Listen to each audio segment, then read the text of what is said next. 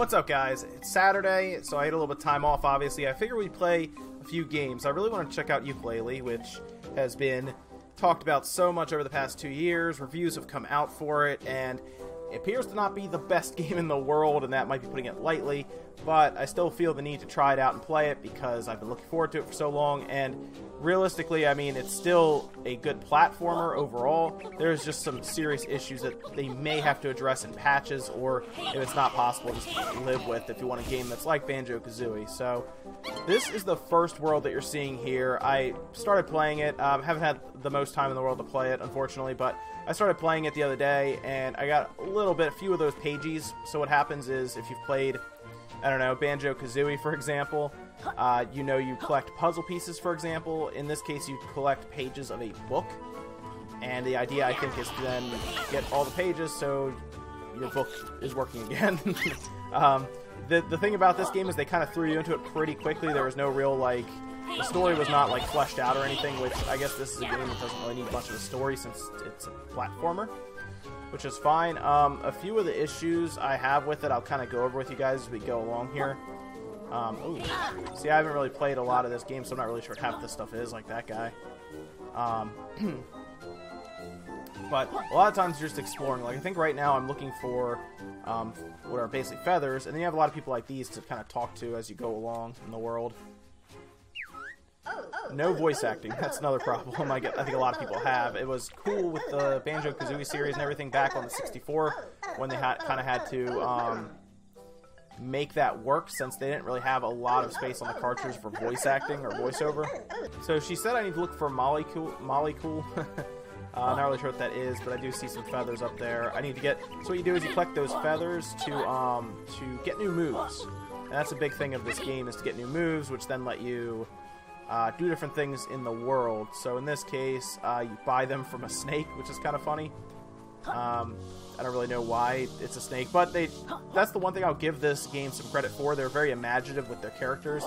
Like the snake is named Trowzer, and he's he's pretty funny. He's um he has a pair of pants despite him being a, a snake, which is pretty pretty cool concept for a design idea. I'm just being curious. So he has he he technically doesn't need shorts, but he has them anyway. Um, let's see, I saw a couple of feathers. So these are, it's definitely a collectathon. And what I mean by that is you collect uh, a lot of stuff. In this case, I collect those feathers that then let me buy moves that then let me collect pages. So it is collecting, collecting, collecting. If you, if you don't mind that, you're fine. You would like this game. I was going to say he's free, but then we're going to take him, so you're not free. In fact, you're just whole and then just take you, okay. So now, um, I noticed this mechanic too. They say I have enough pages to expand the world. I haven't done this yet, um, but if I if I leave here, go back to the hub world, and I, I use the pages to then increase, the, I guess, the count of the world, how large it is, and what you can do in it. Um, so they're at 25. Now I'm getting close. So I guess I need to go back to the hub world, and uh, yeah. Um, and this should, I guess, let me increase the size of the world. So we'll take a shot at that real quick as well. Uh, I assume, yep, there's a loading screen. Another big thing about this game, some of the loading screens are, uh, are one, they're kind of scary, I'll say that, because they seem to freeze a lot. Like, when I first started this game and the loading screen came up, it kind of froze and sat there for several seconds. Like, it'll sit like this for a while when you first start it up. So don't get concerned if that happens. It is actually loading. It just took about 30 to 40 seconds the first time I started the game up for it to load and sat at one of those little frozen spots for like 10 seconds and I was almost positive my PS4 froze. Yes, I do want to expand Tribal Stack Tropics. So they're very, um, yeah, they're very uh, imaginative with their worlds. I will say that they're very different. I've seen some reviewers with gameplay footage, and this is the first world that I've seen, obviously, but some of those other ones look pretty cool. So now it's larger. I, I assume that means that uh, I have more stuff to do now. Not that I was really running out of stuff to do, it's just I need more of those feathers to get the next move that'll then let me get the next page and so on. So here's another loading screen. Um, we'll see how long this one takes. I assume you get one of these every time you leave the area and every time you go in.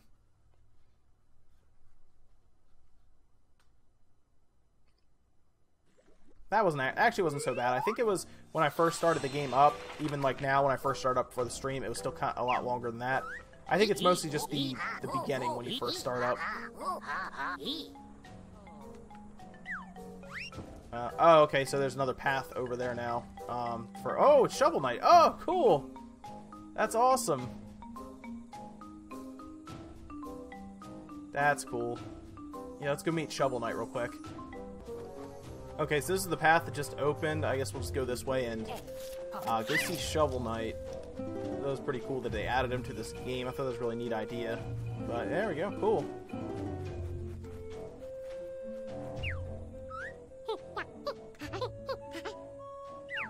Oh ho, yo. Oh, oh, yo. Oh, oh ho ho ho, yo, yo, ho ho, yo, yo, oh. Oh, yo, yo, ho. See, they have a lot of like, like where they break a lot of uh, the fourth wall a lot in this game, and uh, I think that's just, I guess, just to be Oh, oh, funny. oh, oh, But yo, oh, they oh, do oh, overdo oh, it a yo, lot oh, with the oh, fourth oh, wall yo, breaking. oh, oh, yo, oh, oh, oh, ho, yo, oh, ho, oh, yo, oh, oh, oh, ho, oh, oh,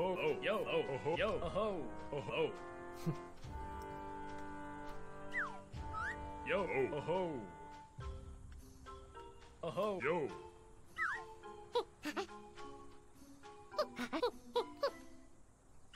oh, yo, ho, yo. I, I mean that by like hopefully the oh gosh hopefully the camera can help because I can't move the camera at all right now. Like it's like just stuck where it is. Um, so I can't really see my field of depth with some of this stuff. Ooh, go. like I would actually probably be more comfortable um, being on the ooh feather. Oh, I'm probably not getting that. Uh, being behind him at that point just to see like further ahead. Here we go so now I can rotate which is good so I can kind of try to See, oh, there's a, feather there. So I only need a few more to. Oh gosh, I need a few more to to unlock the last move. I need 25, and hopefully I get a lot of those on this little this little uh little puzzle thing going on here. Oh, there we go. Okay. So I need to shoot that with the new ability I got, and I missed. There we go.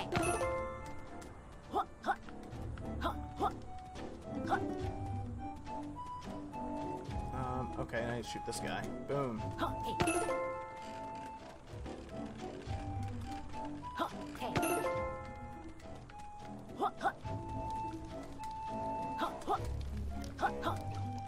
There we go. I ended up having to freeze the platforms, so I figured that out, which is good.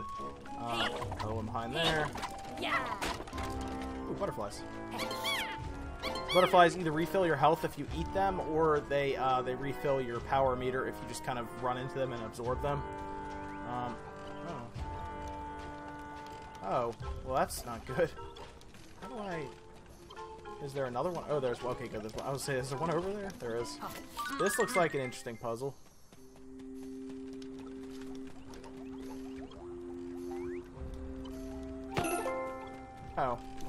That would do it. I guess not.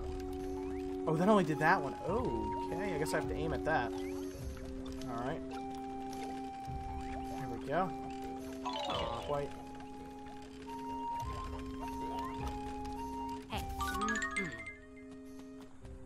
There we go.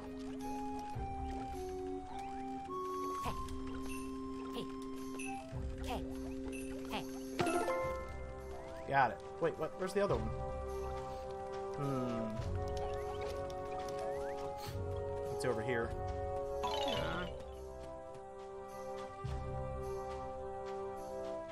Oh yeah, there it is. Okay. So now I need to shoot this one. Hopefully, I had a good time because the other ones are pretty good. Not at all. Next one. Not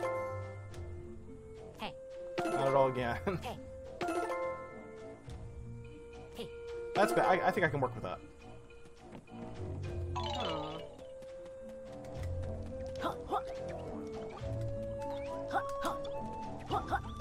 See, I like that puzzle mechanic. That was pretty cool.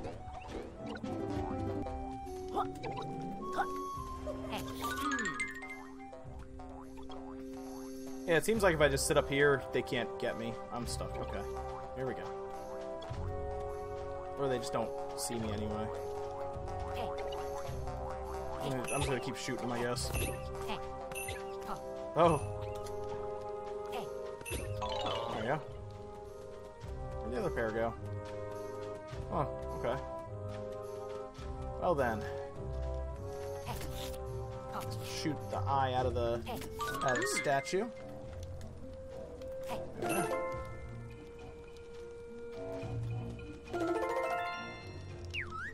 Oh, yo, oh, ho, oh, ho, yo, oh, ho, oh, ho, oh, yo, yo, oh, oh, ho, yo, oh, ho. Okay. Don't suppose there's an easy way off here, is there?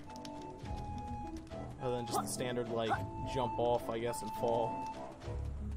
Where would he be? Is he? Oh, there he is. Right him there. Okay, that's not bad. Okay, where it is bad. oh no!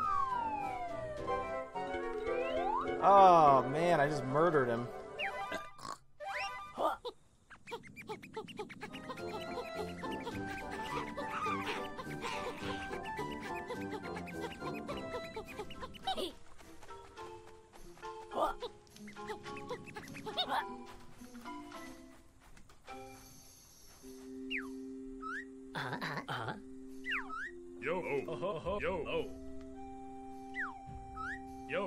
Least they let me yo, keep the jewel yo, after I yo, fell off, so that's good.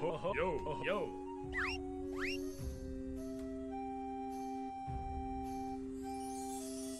Okay, so he gave me a, he gives you a page. All right, that's cool. Oh, oh, yo. Well, yeah, there's no mini map though. Oh, he needs a map.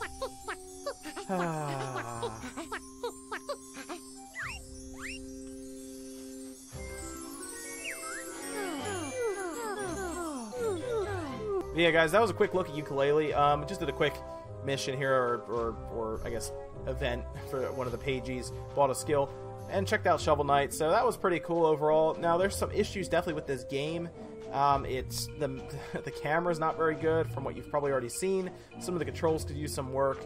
Um, and honestly, when you when you do fall off and die, you go all the way back to the beginning. There's no like checkpoints anywhere. So if there are some really big towers out there you have to climb, it's gonna be kind of frustrating. I think for a lot of people, considering the camera doesn't help you at all, and if you fall off, you go all the way back to the beginning of the world.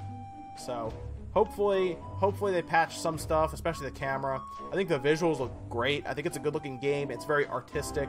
Uh, they've made some good design choices with the characters. I think Yooka and Laylee are very unique and pretty cool.